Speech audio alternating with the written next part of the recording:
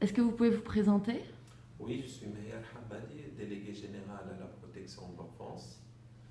Depuis combien de temps? Euh, Depuis trois ans, j'ai été délégué à la protection de l'enfance euh, dans les gouvernements euh, pendant 12 ans.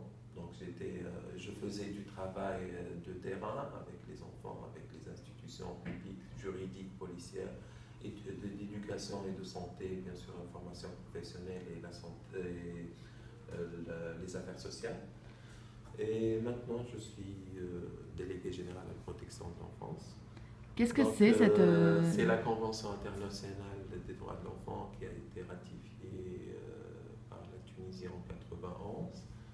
Et l'article 47 de la, de, de la nouvelle constitution de 2014, du 27 janvier 2014, qui dit que les droits de l'enfant euh, sont, euh, euh, c'est une obligation pas pour les parents et pour l'État euh, pour euh, garantir la dignité, la santé, la protection, l'éducation à ces enfants-là. Donc c'est les parents et l'État qui sont obligés de garantir ces droits-là à, ces- à l'enfant tunisien.